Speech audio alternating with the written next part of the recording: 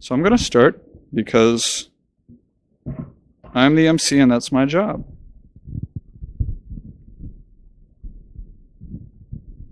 And I'm going to fiddle.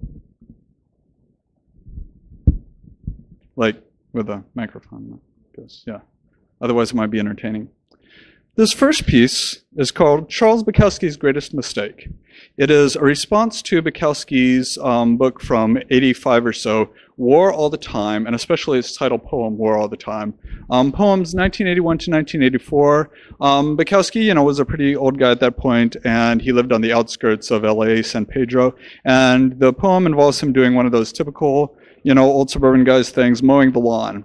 And the older suburban guy from across the way says, Hey, I thought you were a big tough guy with all these radical important poems, and here you are mowing the lawn. And Bukowski waves and smiles and says, When this shit really hits the fan, that's when guys like that are gonna know. Which, um, I suppose is a very comforting thing to tell yourself when you're an old poet. I, um, I guess I'll find out. Um, Charles Bukowski's greatest mistake. Coffee by day, tequila by night, and clear the putty from around the washing machine hose, change the lock on the daughter's door, argue your parking rights with a city employee, and tell the neighbor why his cousin's in jail. The computers you hated talk to us now, and the bills you avoided are all long overdue. Poets look for angles like a mayor would endear, and we no longer notice when we go to war. It is war all the time, Bukowski. It always was. And when the cameraman is rolling, we are all beating your woman, though we aren't too young for justice and won't grow too old for chaos, and you are always full of shit. That shit that always hits the fan. And you can still spot a pacifist because he won't quit after the armistice, because every poet is a militant just looking for a weapon he'll never have to put down. This is your war, Charles Bukowski. We lost because you forgot it was on.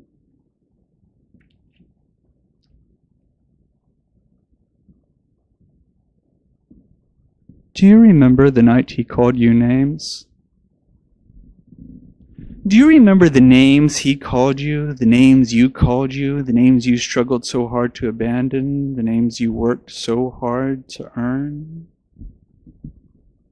And now you're fragile like a straight flush, working and writing backwards, erecting your defenses like an empire's building of state, standing like a mission that knows that only it can save us from the tourists and Rhode Islanders biking in the park, turning your skin to Pepto Bismol since your heart will always burn. Can you remember the truth behind the machismo before civility and sympathy made you competent at the sort of interactions you know full well don't matter. Before adulthood found you burying the strength that you need most.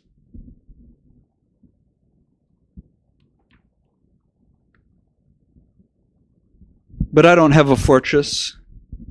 I just have a paradox in which the devil cannot find a place to set down his ground rules and I hide in self perception like the Minotaur's hot breath proceeding from Blavatsky's table, where she keeps the hand grenades. And I, I call this security, though I know how lost I am. And I call myself triumphant because this maze will outlive me, standing naked as a heart attack among the radiant leaves of weed.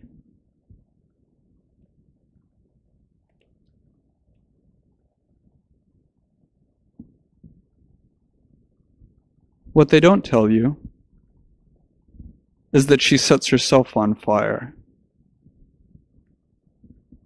They don't tell you how she looks at her massive beak and ferocious claws and calls herself a blunted, broken fool. So she builds a pyre out of conversations with God and country pop records. She finds furnaces in Odessa and New Iberia. They don't tell you that she uses ethics for fuel, mixes them with morals, and sets religious writers aflame, monks and mystics hissing in her fat. She lives off poetry now. She drinks it like tequila and shits it out the same, leaving the rest of us with politics and power games. And any poet and poem that doesn't stick to her intestines is one she never has to read again. They don't tell you how she kills every self declared picara, and their immolation is the only thing that makes her fly.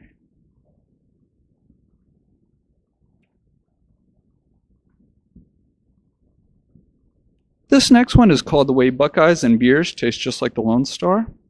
Um, if you've ever been to Ohio, there is a regional, very cheap, low quality lager there called Buckeye. Um, it tastes exactly like the regional, low quality lager called Lone Star in an entirely different section of the country. I don't. They're they're not similar as far as I can tell. They're the same beer. Um, so so yeah, the way Buckeyes and beers taste just like the Lone Star. So the ink stained asphalt stretched before me across that dotted yellow line, sleeping like a leather dom who never looks inside. And all the stars came out to celebrate my reminiscing and all the places that are deserted and all the places that are brave.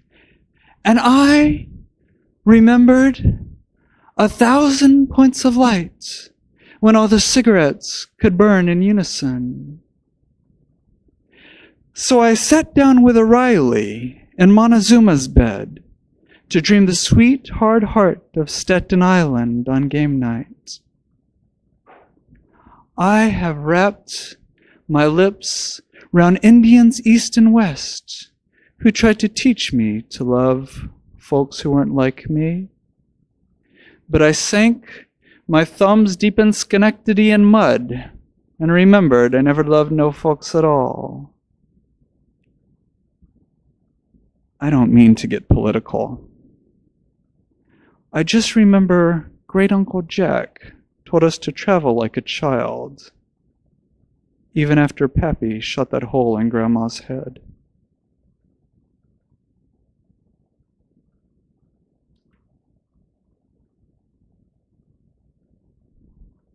I lived for a while in a, a sort of arts commune in northern Ohio. Um, I, I, was I, I, rented a cell there for $140 a month in, in, in you know this century. It was uh, a cell. It was um, it used to be a nunnery, so I, I was sleeping in a nun cell um, in this in this arts commune in this former nunnery. Um, and you know, artists there are able to live just extremely cheaply and get studio space extremely cheaply. It's it's really a wonderful institution. Um, I, I, mean, with with those kinds of low rent, a, a an aspiring artist or or writer or whatever um, can live there really without the distractions of a day job or very much of a day job, and you know, simply have the distractions of living with a hundred psychotic would-be artists. So, yeah, which I mean, I mean, it's preferable sometimes. And we are building a new religion, but not all with the same gods. And we are sleeping in this nunnery where no vow of silence ever meant as much as the lunatic pounding the piano with a perfect sense of rhythm, but no desire for grace. The ringmaster is warning us of the dangers of gossip while he's sucking off the cultist who's got no place to stay. The opera singer is warning me not to wear my glasses because the doctors are conspiring to eliminate my race. And I'm okay. And it's a cold Lake Erie winter, but I have a mattress and a cell that's really quite warm. And I've got a couple 40s stored right outside this window where the architecture rises like ten drunk slobs on minarets slouching towards ecstasy against a bullet ridden sigh. And the mice stay in the basement where they used to keep the pregnant sisters, waiting for the unpredictable century to be born.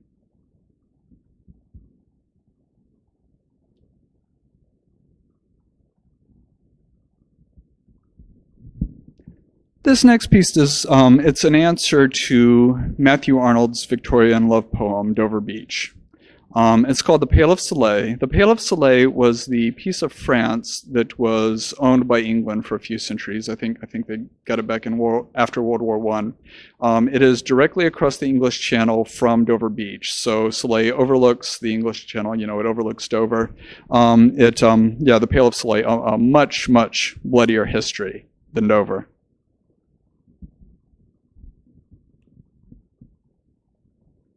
If parts of our love are true, we are still both liars, as was every charming prince who sullied our dark names.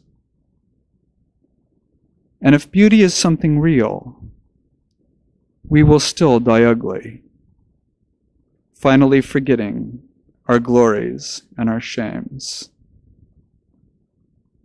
So let us not pretend that mortal love is holy, nor that this blessing of our union makes it perfect. And let us not retreat too far into the fantasies we share, lest close attention reveal them as the little things they are. Darling, we have learned of the wars within and without us. We know that victory is something none can justly claim. So let us learn to make love with the darkling plain. It's the only love we have left.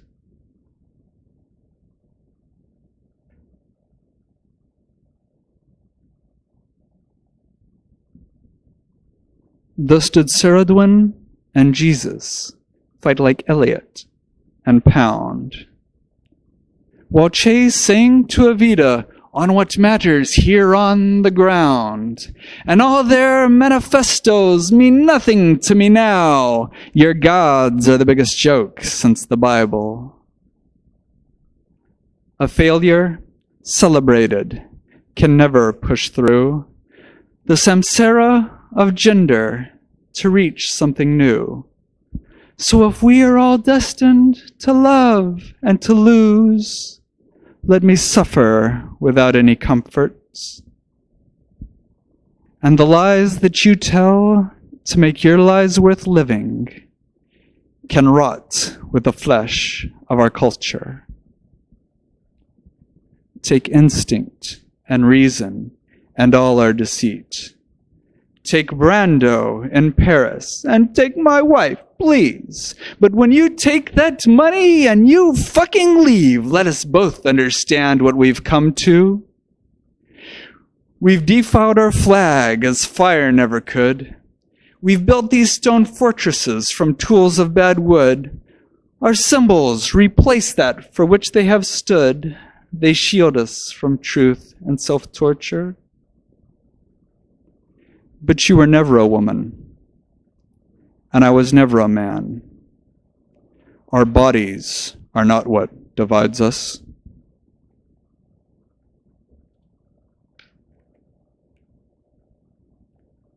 I'm going to do one more.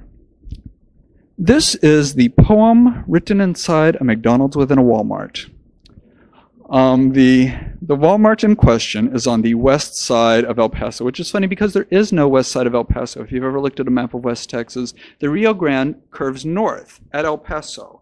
The west side of El Paso, then, if there was such a thing, would be the poorest sections of Juarez. It is rather essential for not only the Texas um, imagination, but the American imagination to forget that the poorest sides of Juarez exist.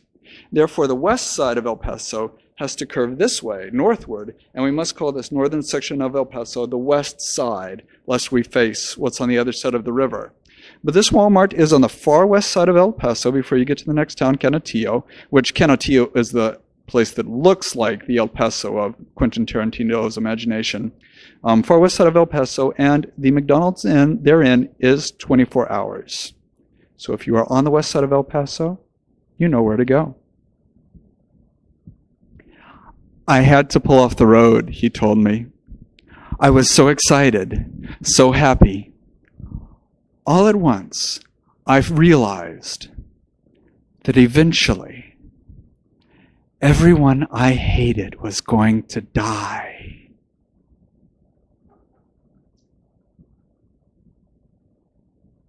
And I thought that our love would live forever. So I write this poem to wish it goodbye. And this paper will crumble. The words forgotten. The hard drive deleted. The internet obsoleted. The electrons finally rendered inert. The institutions that bring you such power, such terror, won't be a footnote in an unremembered text. And the gods of your forefathers remain immortal as long as your fantasies stay naif. Ah, but you were never a naif. Still, I believe you are holy, that the holy and the unholy die, that nothing that dies is unholy. And I believe you have power to reach everything that's long since gone, to embrace what will happen tomorrow. And if these beliefs leave me grasping for some fantasy my mind will reject, I'll treat this Walmart as something greater than myself and pretend human failures can have historical context. Thank you.